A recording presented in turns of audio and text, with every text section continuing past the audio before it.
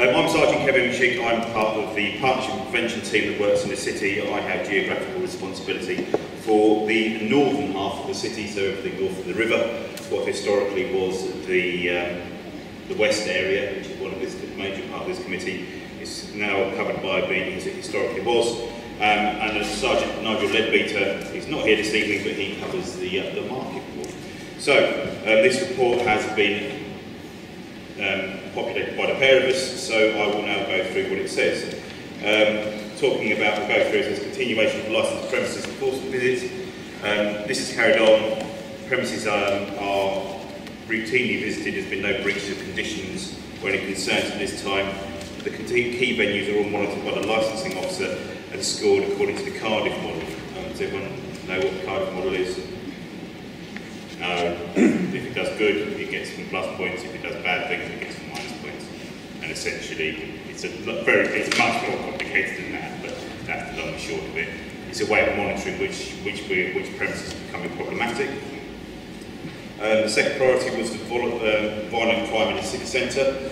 Um, we have dedicated resources um, which run an intelligence-led operation towards issues in the city centre, which is part of called Operation Connect. And again, the Cardiff model helps us identify and engage with locations which are identified trouble spots.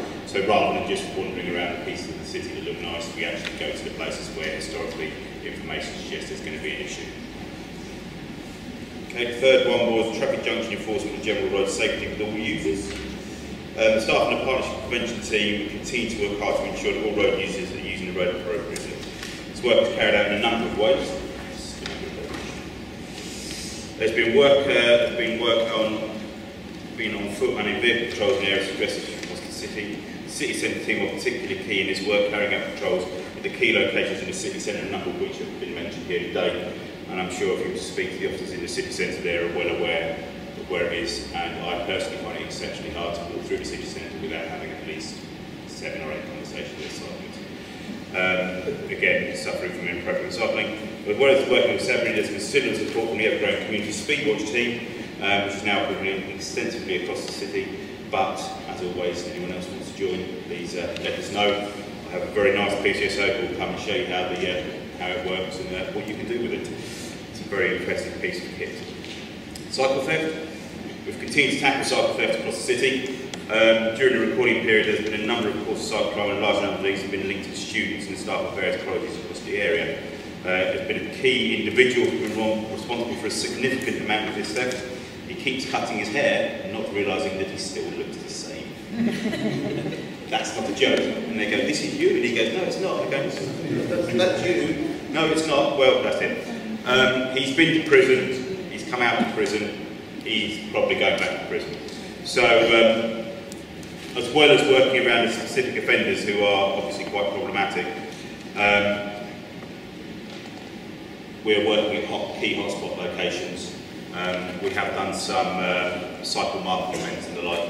I don't think any of those have been on the west of the city, but they've been aimed at places where there are large amounts of bikes, so it's something potentially we could look at. And we are still trying to get community um, behaviour, criminal behaviour, real community, community criminal behaviour, thank you. Um, against this young gentleman with conditions around him and his bikes and him going on university land and the like. So um, that's where we are. Um, the next one is tackling rough sleeping in the city centre. Um, the city centre officers and our street op officer continue to work with partner agencies to provide support and diversion for to people who are rough sleeping. The City Council has a strategy which includes information cards detailing where they can obtain assistance, which officers can share with the rough sleepers. So that's, that work's still ongoing. Um, this is a very long report. Glad I only write half of. Um, tackling drug dealing in the city Arbury and Castle Ward. I know that Arbury is actually in the north of the city, but it does butt up to Castle, so it's not a major issue. Work has continued in the areas of addresses of drug supply within Cambridge. Work carried out takes place based on intelligence gathered by officers to target the most vulnerable people in our communities who allow their homes to be used to supply Class A drugs. The Partnership Prevention Team carried out a range of enforcement action which has led to a number of people being charged with relevant offences regarding the sale of Class A drugs. A number of people are currently on bail whilst inquiries are completed. As well as the work to deal with the people who supply drugs, we, work, we continue to work with a wider, wider number of support agencies to support those people who are using and trying to stop them and make positive changes in their lives. that work again is very much driven by the, the constabulary's opinion of looking at the threat, risk and harm of an issue. So our enforcement action is based around making sure that if people are being um, exploited and having their property used, that's, that is where our enforcement action is targeted. Uh, and last but not least, um, theft from vehicles in Newnham. There's been a number of thefts from vehicles over the reporting period, and most of these have been from builders' vans in the area. Um, the patrols have been carried out in the area. The relevant prevention advice has been passed not only the vanos themselves, but the people that were having the building work carried out. These issues are similar to other areas in the city, and most notably the south of the city, where there are a large number of tradesmen working. So basically, when there's lots of people working, there's lots of vans being broken into.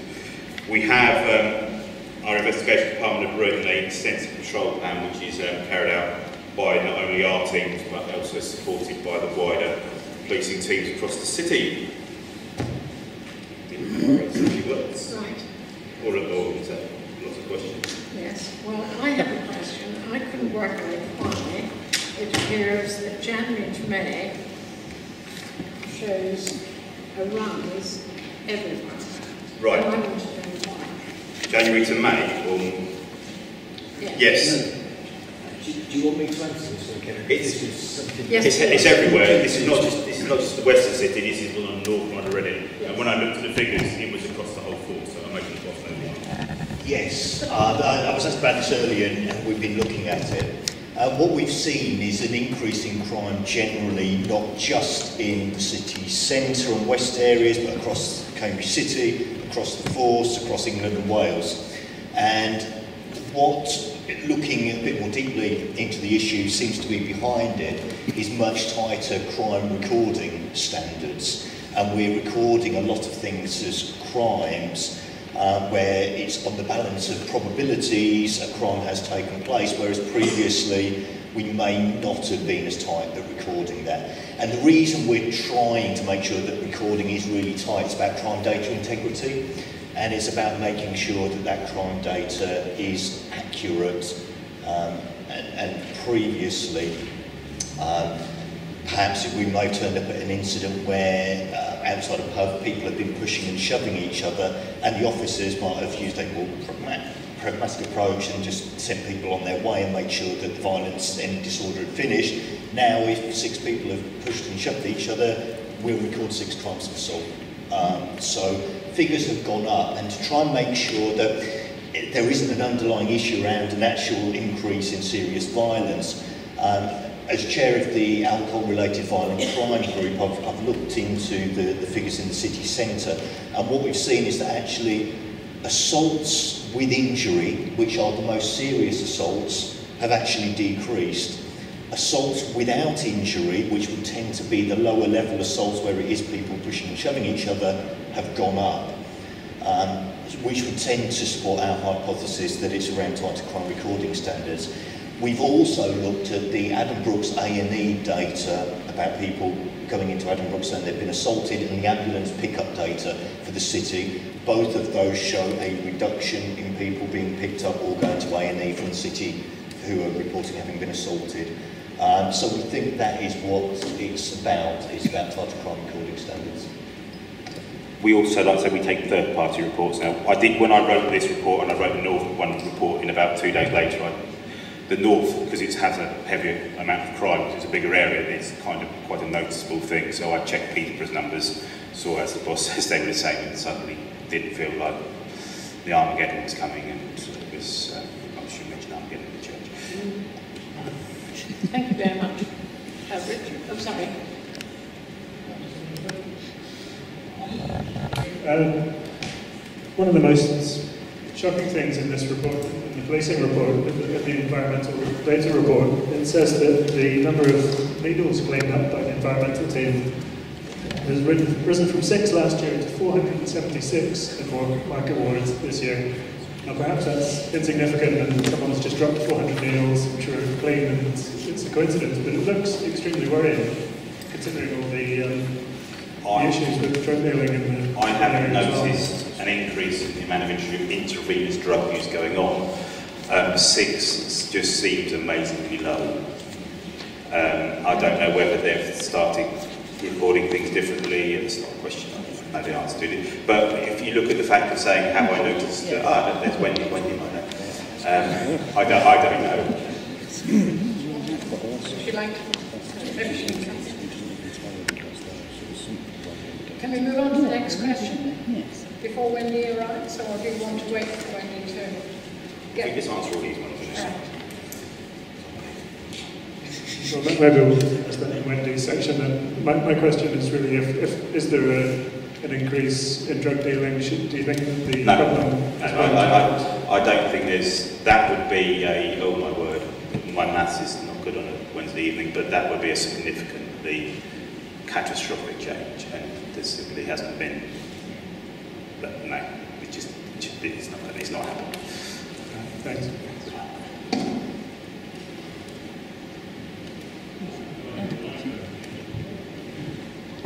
Thank you. I wanted to ask a question about um, enforcement and uh, policing of traffic. Um, going back uh, earlier on this year, um, statement on enforcement says, as a precursor to community speed watch operations on certain roads, traffic data boxes are employed to check on average speeds. And I did notice, I think probably a couple of months ago when in Maid's Causeway, in fact, I noticed a number of them around the town. I don't know whether that was to do with the city deal or whether these are police traffic data boxes, but they do um, the police used to publish the, um, the data from these data boxes, which are in place for often quite a considerable period of time, on their website. They no longer do so. There are no figures available.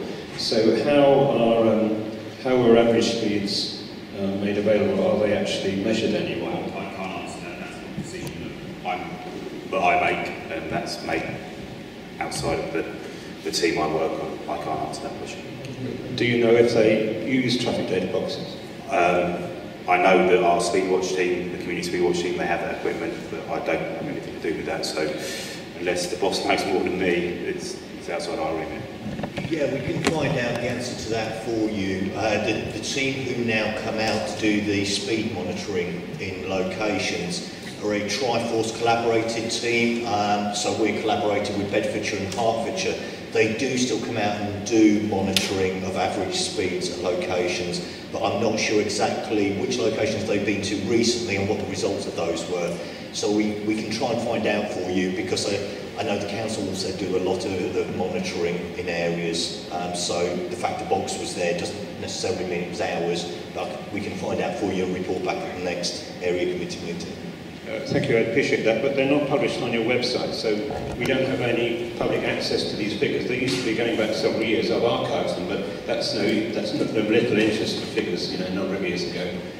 Um, so uh, I was That's quite possibly because it's now the collaborated team, so they may be on a different website. Again, I'll try and find out for you and provide, I'll, I'll go through the, the City Council to send out a link to the website if we find where that information now is. That would be very useful because I have no, I cannot get any information on um, the results of any traffic enforcement because it's done on this Triforce basis. The figures don't seem to be available. That I've been told that figures aren't available because of that, which means it's very hard to know any if what enforcement is being is, is actually taking place around the city of the 20 mile an hour because we, we just don't the figures don't seem to be available. So how what when when the police are asked to look at 20 mile an hour enforcement, we don't know what is being done. There are only vague remarks about oh well we look at it on a regular basis etc etc. But we don't have any figures. We can't say. At, at the moment, um, because I want to be completely open and, and transparent about the situation, um, there is not enforcement, um, people being issued with tickets around the 20 mile an hour limits. The 20 mile an hour limits, um, that's where we're encouraging the use of community speed watch. And part, uh, part of the issue is uh, around the speed monitoring as well, and the average speed monitoring is also looking at the proportionality of enforcement around 20 mile an hour speed limits because what we we need to make sure, following ACPO guidance, that actually the street and road environment is such that the 20 mile an hour speed limit is suitable, so it's proportionate for us to enforce. Um, so, in Yes, terms of enforcement, the reality will be uh, that there will be very few, if any, drivers having been prosecuted recently for exceeding the 20 mile an hour limits. It's something we're actively looking at at the minute, but we need to make sure that action's proportionate. I've been banging on about this issue for six years, since Maids Causeway in August 2010 had a 20 mile limit in, in, installed. And I think there's only one instance where I've actually felt that, that, that a really good a bit of enforcement took place, but that was only for a 30 limit, when a 20 limit was actually enforced. Yeah. Uh, because the police were looking at education. Now, as far as I'm concerned, and the police say community speed, watch, speed watches, education, it's not enforcement, so the police aren't doing any enforcement. But ACPO did actually, uh, ACPO did write to the parliamentary group on cycling and say, where drivers are regularly and willfully breaking the law, they will be prosecuted. Uh, so that is happening, I can tell you, in Maids Causeway on a regular basis. Speeds on there are frequently well above the 20 limit, but since we don't have any figures from any traffic monitoring, I don't think the police actually enforcing a particular road. When the traffic's moving freely, traffic speeds can be quite high. But I don't seem to have any hope, even reading this guidance from ACPO, that any enforcement is ever going to take place. This is six years down the line. Well, what, what, what we're trying to satisfy as is, is that when it comes to the 20 mile an hour limit, we're actually not just relying on enforcement to try and get drivers to drive at 20 miles an hour because just imposing a 20 mile an hour limit and suddenly expecting everyone to drive at 20 miles an hour isn't necessarily going to work unless there are physical improvements that are made that are referred to in the ACPO guidance and other things done to try and encourage driver behaviour to, to reduce Yeah, their well, I am aware of that. I have read the so, guidance. So just relying on police enforcement is, is very difficult because we don't have the capacity, as I've said at other area committee meetings, to just be out all the time enforcing 20 mile an hour limits and we need to work with our partners in the council and highways to try and make sure that actually we're looking at the wider issue and, I'm and sorry, getting people to reduce the their fact speed. is nobody is going to remodel Maids Causeway because it's a major bus route. So we're left with a situation where I do read this out from you from ACPO, where drivers are regularly and willfully breaking the law, we would expect the officers will enforce the limit and prosecute offenders. That's what ACPO have said to the old parliamentary group on cycling. And I do think that actually applies in the case of Maids Causeway because it's a wide road, when, when traffic is freely moving, the speeds are high. And when the officer who came from North Cambridgeshire, he had a police car, he hid behind the door with his light gun, and he measured traffic. He got a bus full of passengers that was breaking the 30 limit. Um, and he said plenty of people were breaking the 30 limit when the 20 limit was enforced.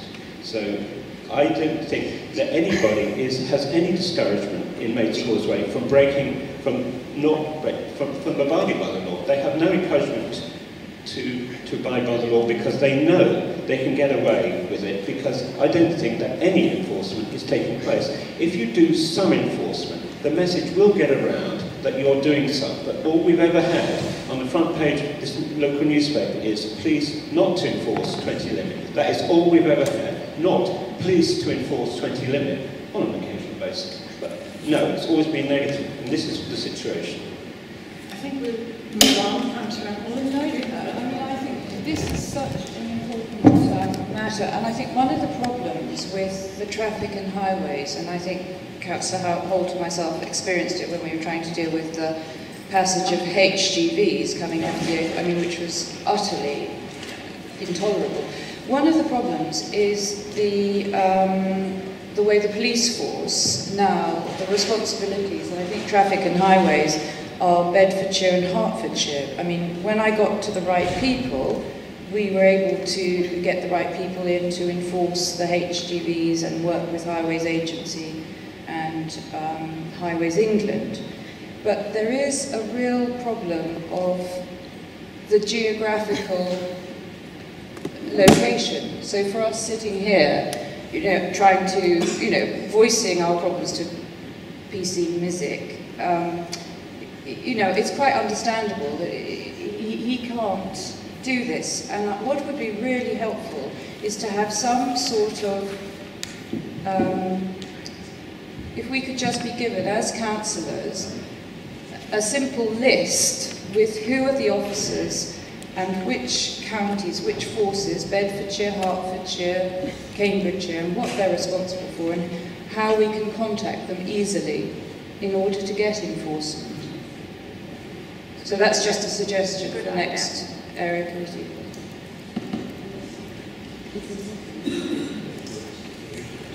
Thanks, Chair. Through you, um, the, the officer says that enforcement alone isn't enough to get the message out that people should be driving 20 miles an hour, but the, there doesn't seem to be enforcement. Actually, it seems as if the 20 miles an hour thing is advisory, because it's a new scheme, the impression will, will strengthen among drivers that they don't really need to drive at 20 miles an hour. It's sort of a, a funny thing that they do in cities in some places.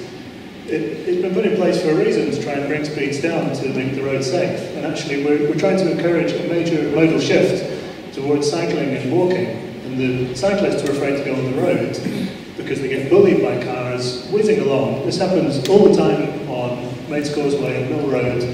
You, you're frightened when you cycle along there by cars who think, oh, I can get through these lights if I just, just put, my, put my foot down.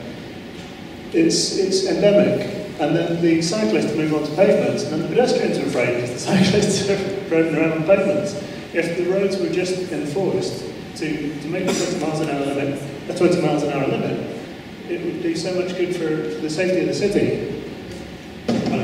If, if I could just say, in terms of the desired outcome of traffic travelling more slowly and 20 miles an hour on appropriate roads, I fully support that. What I'm concerned about is that we've not properly thought through how we're going to get to that desired outcome.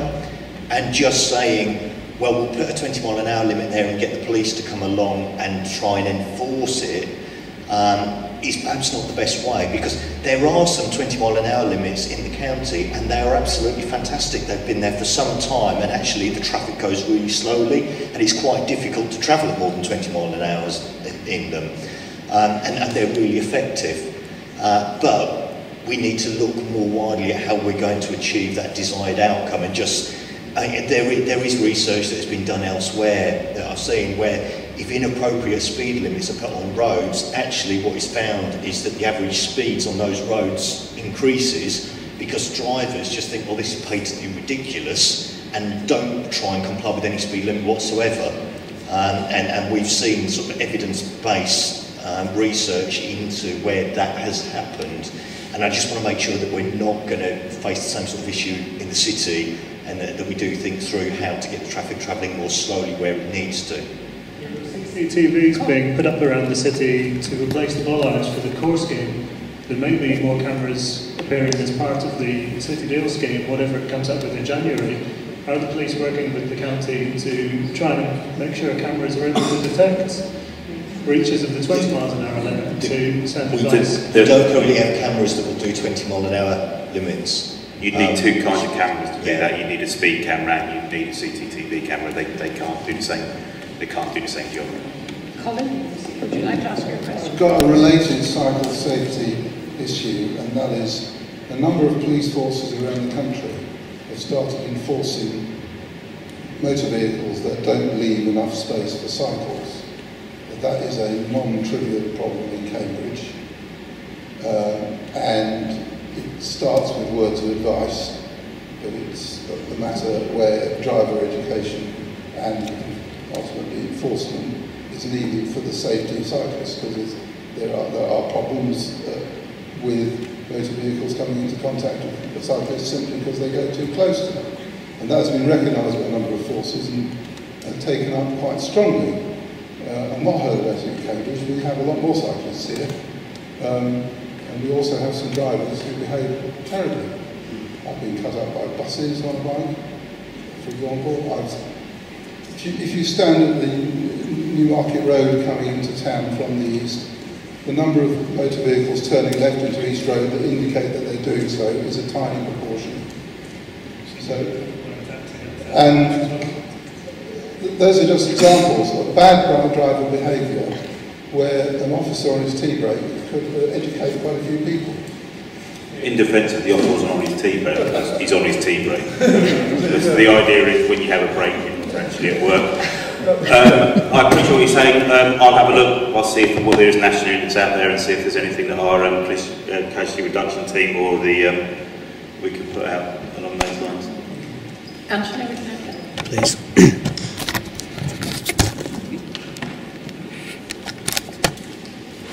Thank you. Do I have a microphone? Thank you. Kind of related to speeding drivers, and I particularly noticed this down Emmanuel Street uh, when I'm waiting to catch buses fairly late at night following things like council meetings, um, is drivers who drive cars with illegally souped up engines.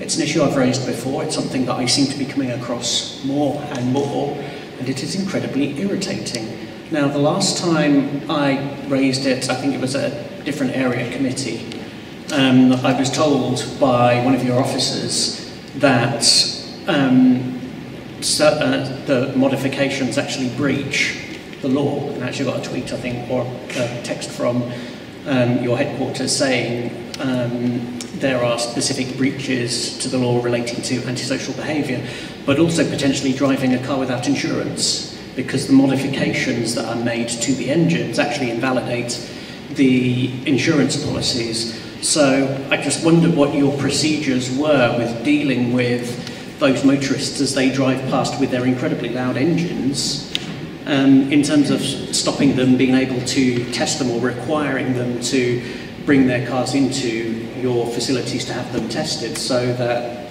you know you can get them off the road. Thank you. That, that will be worked out by our, our unit. That's what, they, that's what they do. Their job is to enforce that kind of stuff.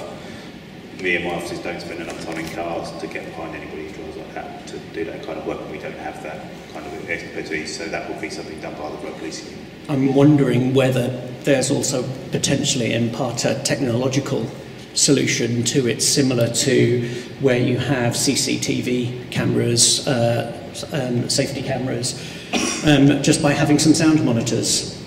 Um, I mean, I spend half my time dealing with audio issues with this thing, um, and I'm just wondering whether there's any technology out there that you could just have small sound sensors by your, for example, some of your major road junctions, so that as soon as the cars set off, that's when they floor the accelerator and that's when they make the most noise.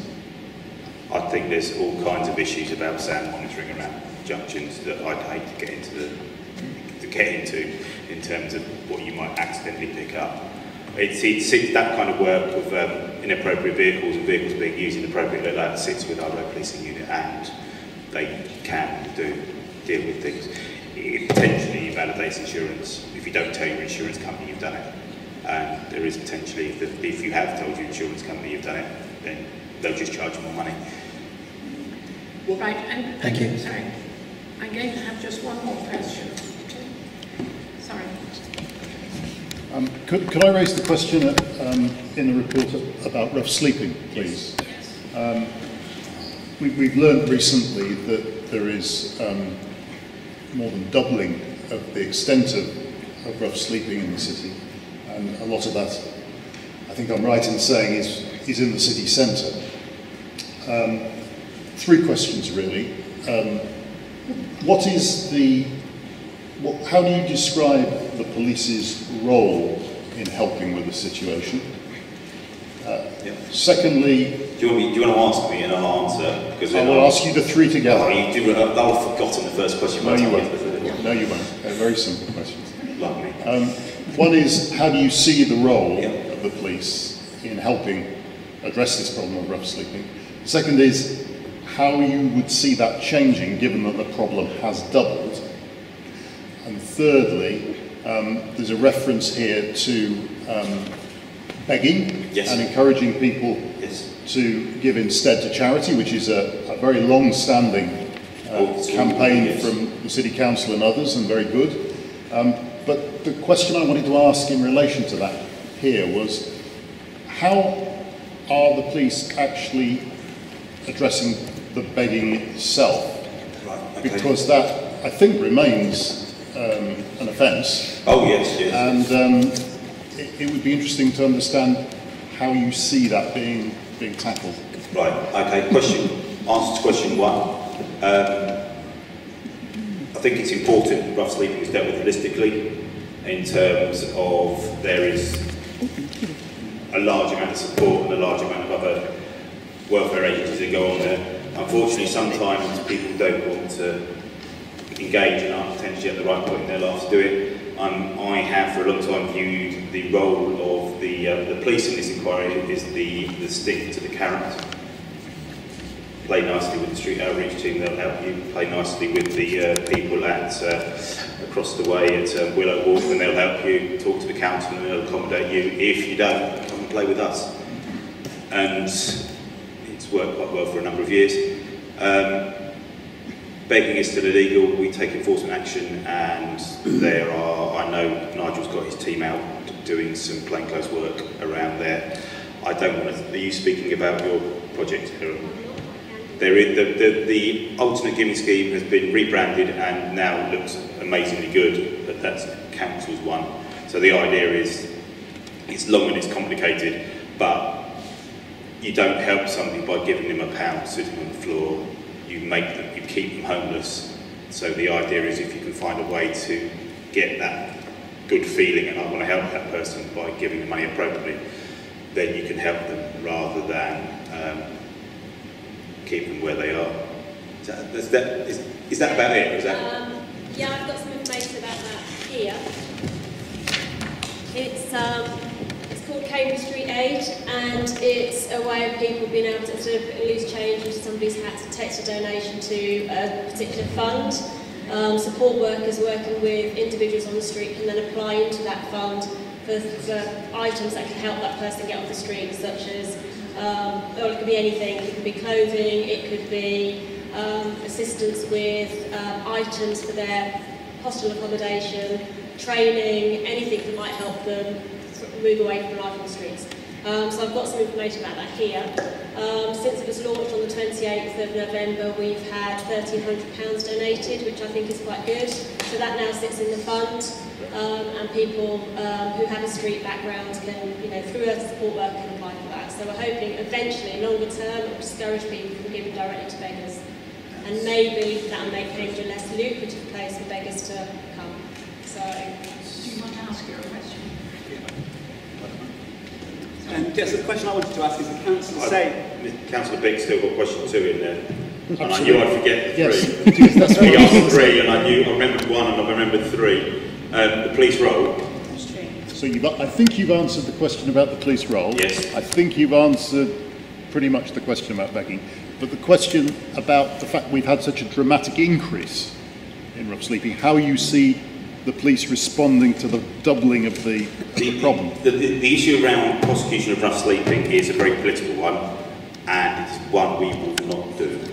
We have historically, in a specific cases, prosecuted rough sleeping, and the response we got from the magistrates court wasn't very positive. And yeah, not going to minute what, what happened there. Um, our role is very much to make people engage and to make them understand that the choice of disengaging from the support and just choosing to live on the streets and do nothing is probably not one it is. I think I've said to one of the council officers many times that Cambridge has a lot of toys in it.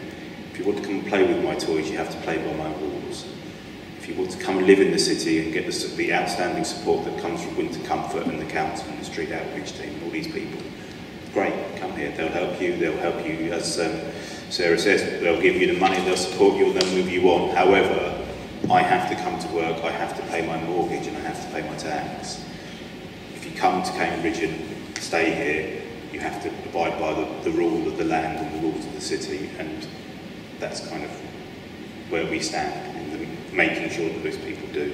Also, there are issues around um, reconnection with people with who um, aren't here. We've done some work with the UK Border Agency around um, treaty rights and the like around that as well, which hopefully will have a reduction in the number of people who aren't rough, not rough sleeping, while A, reconnecting them, or B, pushing them into engagement and pushing them into living their life in a more positive way.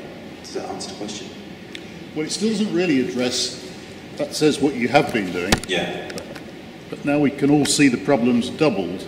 Um, does that does that say The, that the issue is the role of the street life officer was historically funded by the city council. Is this a question you're asking me? I'm asking you whether the, It's not going to be funded the, anymore. whether- They've, they've withdrawn the funding from the dedicated officer. Um, and that is now a decision that I don't know the answer to. That is a decision that I don't know what the future will bring, what it will hold. That is a conversation that Nigel, who holds the portfolio, the chief inspector and the council need to have. Going forward, I don't know is the honest answer. And, but I think that's what we were driving towards, wasn't it? So the, the council at the moment are telling us that every penny that we give to their um, charitable um, appeal will be spent on rough sleeping and homelessness. Why can't they give us that same assurance about hundreds of thousands of pounds worth of public money being spent on rough sleeping and homelessness in the city? That's a council question. I'm a police officer. I don't know. I, I wasn't particularly addressing it to you. All right, I just thought we were doing police questions. That's why I'm slightly Well, it's, in the, confused. it's in the policing item because this. All right, fair enough. No, good. I understand now. I was a little bit confused for a while. Um, thank you. Uh, it was to pick up on Tim's point about what, what actions you, um, as a police force, are able to take against rough sleepers in the city centre. I just wondered whether you have been working at all with the fire service on the potential fire risk that is posed by people sleeping on large quantities of cardboard in doorways. Um, we've worked with fire service around squatting previously, um, around obviously um, the appropriateness of where people are saying for potential fire risks and that, as they have some fairly significant power around there. I must admit that's a really good idea that I hadn't thought of. Um, thank you. I, I, will, I will pass that on to Ben, and that's certainly. I've always thought along the idea of a number of things about the cardboard, but that's a new one, and it's um, I don't know, might work, worth a try. Right, I'm going to try and wind it up, so please have a quick... A request, because um, the Cambridge Street Aid Fund, is there, um, is it possible for people to simply walk in off the street into the Guildhall, into the main reception and make a donation? Do we have that The, facility? they, because it's all it's all managed So, by. um, sorry, um, a second, oh, a second. And then the supplementary to that is that this afternoon I was walking around the city centre and I came across two homeless young men um, looking for £12.50 to pay for their night shelter. You're shaking your head. No, as, as, sorry, I'm on housing scrutiny, so this really does concern me. And I know David Greening, the housing homeless strategy officer, is, is writing a report um, to brief us on what Tim Bick's identified, the rise in uh, homelessness. But to me, it seems if we, if we had the access into the Guildhall for residents simply to go to the main desk, make a donation, and then for those who need their £12.50 for the hostel or whatever, that they should be able to go into the Guildhall and at least register to access that service. I'm simply asking, is that possible? The hostels cost nothing. Sorry. The hostels are free. That is Sorry, a tactic I- they can I- use to beg for money. Um, I believe you can pay by text message. Is that right? Um, the street aid scheme is we don't handle the money. There's been several attempts at the alternative giving scheme before. Um, Um, and the first attempt was where there was donation boxes. It was quite difficult to administer that money once it was collect, once it was donated. This scheme takes that away. The Cambridgeshire Community Foundation are managing that fund on behalf of uh, street aid. Street aid. Um, so if people want to donate money, they can do it by text, or they can go onto the Cambridgeshire Community Foundation website and do it by Just Giving. So there are other ways of doing it, but there won't be collection boxes at this stage. Because that, that adds a whole different element. We have to then collect that money and it, makes it more complicated. And the second thing, for the homeless person to come in and register in the Guildhall, that was my second question, the homeless person to come into the Guildhall or some public point to say, I want to immediately access that fund. Is that possible? No, they need to go via their support worker. So we've been also giving out these cards to rough sleepers and beggars with the details, places they can go to get information. So it's got the details of uh, Winter Comfort, Jimmy's, police station, city council. So if they need support, they can come into city council. Street outreach will go out and um, engage with them on the street to give them support. Um, what we find is quite often they don't want that support and they won't engage, and they don't have to hand over any cash at the hospitals or at Jimmy's. So they don't need that £12.50 £12 to get into Jimmy's. Um, I was going to ask a can we have the text number for that? Yeah, I've got cards here. I'll leave them here for you. Right, okay. Um, yeah, I was going to ask about, um, it's not necessarily a, a police priority thing because I think it's a bit too specific. But, sorry, yeah, sorry. Apologies. Uh, it's not necessarily a police pri- priority issue because I think it's a little too specific. But there has been, over the years, persistent um, parking in the mandatory cycle lane in Downing Street next to the Revolution Bar. And I'm aware that it isn't something that the civil enforcement officers deal with. I can't remember why, but I'm aware that it isn't. And I think it's, um, I'm wondering what action the police can take to offer maybe strong words of advice to the bar who I- allow them to park there and others who do that because it's a danger to cyclists and it's a danger to pedestrians because they block the path. I, I imagine the officers, if they see it, would do that. And I will have a conversation with Nigel to make sure his team's briefed on those lines. Thank you. Um, I'm going to wind up with this paper now, sorry. Can we? I can just add something to that. Yeah. Um, I've spoken to uh, Sergeant Ledbetter, and uh, he is, well, he said that he would be um, following that up, and he was grateful for the video that was shown. So, Thank you.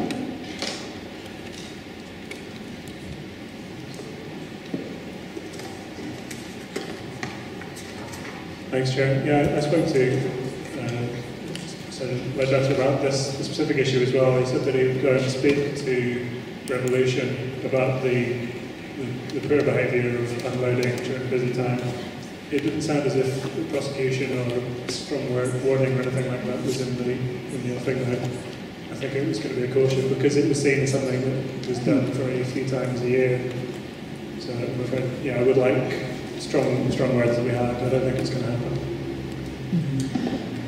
So um, we have two recommendations for the police to concentrate on going forward. Antisocial behaviour associated with rough sleeping, which has been discussed at high length this evening, and alcohol-related violence within the nighttime economy. Has anybody got any other issues? It's not really a different. It's it's um, just to pick up on what Sergeant Misk was saying about um, the um, high rates of crime uh, of vehicle theft from builders' vans, which. Um, while it probably doesn't affect any of the people in this room, I think is something that we should take seriously. And if that is on the increase, I think it would be sensible for um, that to um, remain. I mean, I imagine it will remain on the police priority in any case because it's it's coming down. Okay. Um, So I suggest we take a 10-minute break now. Was that? Oh, we have to vote on that. I beg your pardon. Is that in addition? So we have, the first proposal is that we have um, concentrate on antisocial behaviour associated with rough sleeping. So does everybody agree with that or does anybody want to? um, I mean, just picking up on what Sergeant Missick was saying earlier, I, I'm a little bit concerned, I understand what he's saying, but a little bit concerned about the way he's described the role of the police. I hope in the 21st century we haven't got to such a harsh situation that our police are just there for enforcement. No, no, we're not, we're not, and- trust and- me. And therefore, I think we should modify that recommendation to include to continue to work with agencies, um, you know, basically combine it Oh, with, with, with the priority before. Um, so that actually is addressing those with antisocial behaviour, but it's also working with them to That, that's a fairly broad stroke discussion of what we do. It's the, it's the, it's the headline. It, Yeah. Ben's very, very good, and um, he's not quite as evil as I make him out to be. And I, I mean, I think that we should continue to have a police priority for, given the fact that we've, we've um, had a number of questions around it this evening, uh, around antisocial use of the highway, if you like, um, because I think it continues to be uh, key area. I, I think what I, all I would say about that, Councillor, is I would like it to be, as you've s- worded there, a wider road safety issue rather than a targeting any one individual kind of road user.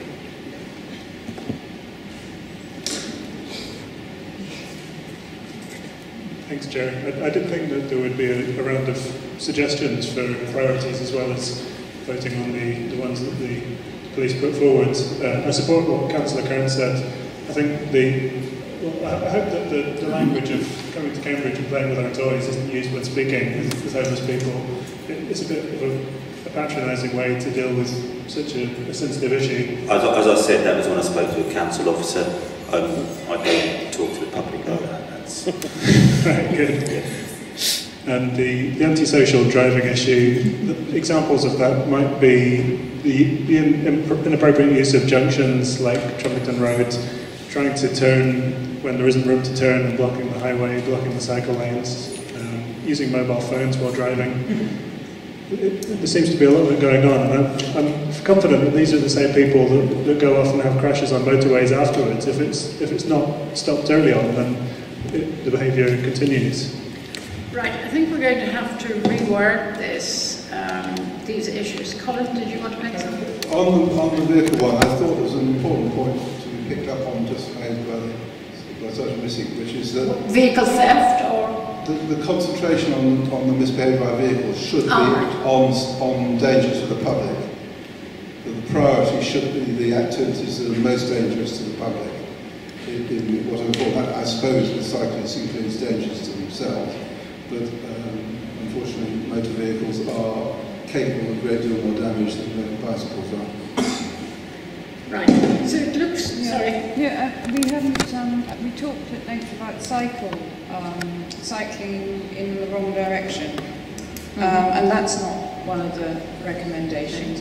And Oh, really? I'm with Councillor Cairns on, I, I think antisocial behaviour associated with rough sleeping, the wording on that is really harsh, and that, something more proactive about, you know, supporting Cambridge Street Aid. Um, There's a more positive way of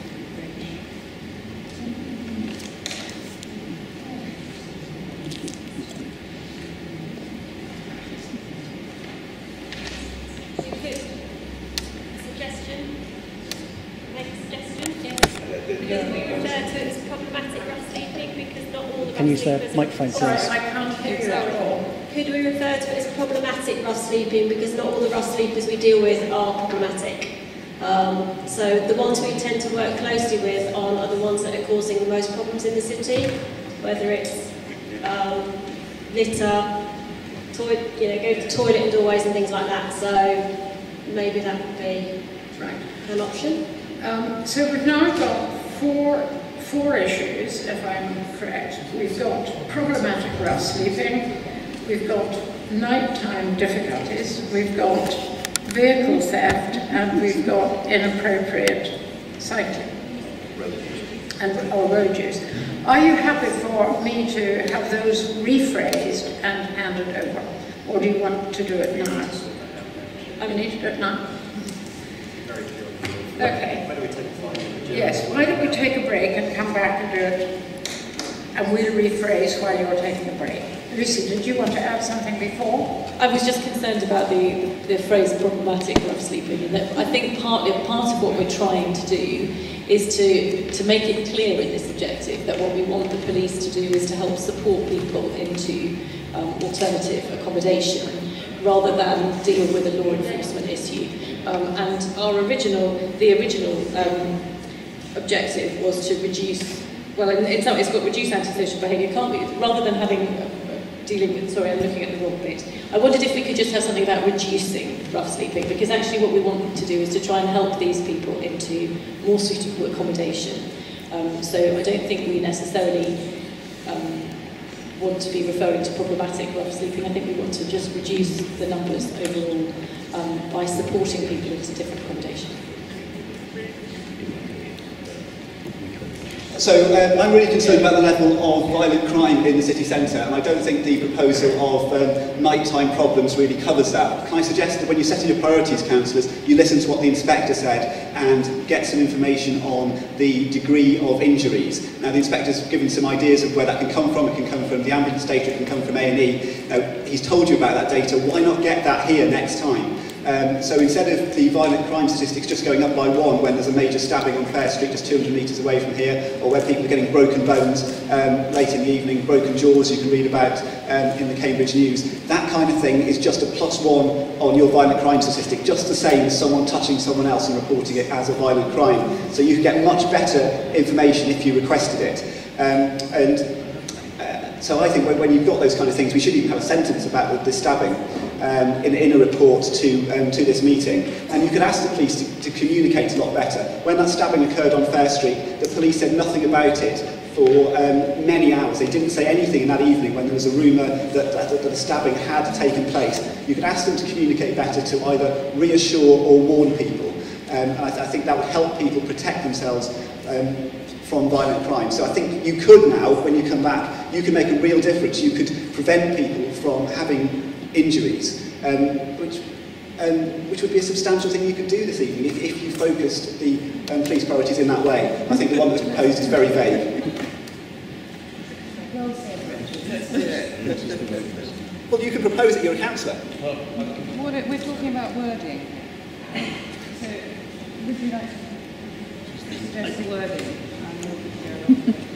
Yeah, I'm happy to take specifics around. So if we prioritise the issue of violent crime in the city centre, um, I'll make a note that what we mean by that is also greater data, greater detail around the data, so breaking it down by what is with injury, what's serious injury, what's without injury, also, some of the data we have um, is now starting to specify certainly the A&E data around whether weapons were used. Um, so we can say how many assaults were with a fist, with a knife, with a, you know, we, we can give you much more meaningful information, which I'm really keen to do, because the numbers are just numbers. Without the context, they tell you very, very little. So I'm, I'm happy to take that away as part of the priority.